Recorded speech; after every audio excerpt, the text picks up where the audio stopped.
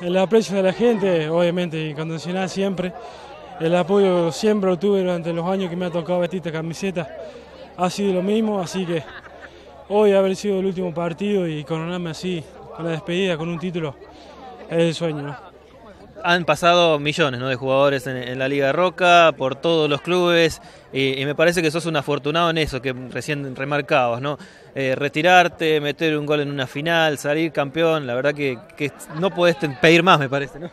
No, no, la verdad es que es un sueño. Eh, creo que ya para mí era un sueño ya llegar a una final. Eh, me ha tocado ganar varios títulos y me ha tocado perder también. Y yo creo que eso, no sé si es lo que mejor me, lo que llevo en la despedida. Eh, me llevo el, reconocimiento en cada club que me ha tocado vestir una camiseta, defender los colores. Creo que eso me llevo, eh, de saber que uno ha dejado cosas buenas en lo personal.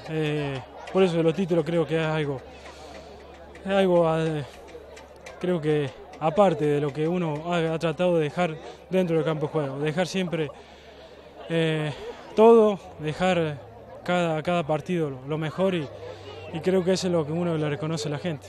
¿Por qué hoy, Chicho? Porque has amagado bastantes veces, ¿no? Con, por ahí retirarte, de, dejar de, jugar al fútbol. ¿Por qué hoy? No, no, la verdad que había puesto una fecha el año pasado.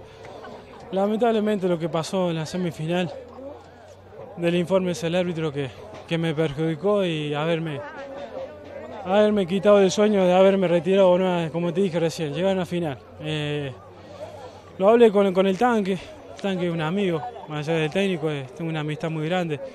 Haber jugado un par de provinciales en Serrano con él y, bueno, me dijo, me convenció de que siguiera por lo menos seis meses más y que, y que le peleáramos juntos. Y bueno, eh, por suerte se nos dio y, creo que en eso le estoy agradecido por haberme convencido y haberme retirado como me retiré. Hablando por ahí un poco del fútbol, un poco del juego, un, partido lindo, un partido donde ustedes se ponen en ventaja rápidamente, donde el cultural me parece que era el que tenía que golpear, golpearon ustedes, sorprendiendo ¿no? al, rival. Eh, sí, sí, la verdad que eh, creo que fue una final abierta.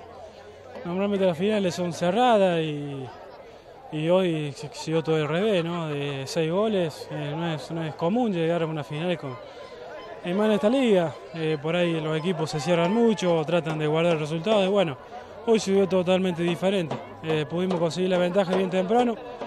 Ellos llegaron con una, creo que una, mala salida nuestra de atrás, llegaron al empate y bueno, obviamente con la obligación ellos iban a tratar de salir en segundo tiempo y, nosotros sabiendo que si aprovechamos los espacios podremos llegar a ampliar la diferencia y bueno, ampliamos la diferencia, llegaron la expulsión y por ahí el ver, creo que festejado, festejar antes de tiempo, no por ahí nos no, relajó un poco y, por eso el resultado que los dos goles de Campillo que llegaron sobre el final, pero bueno, eh, lo pudimos cerrar. ¿Te sacás las 5 y te pones el, buzo de técnico no? Y bueno, eso lo, lo en la semana.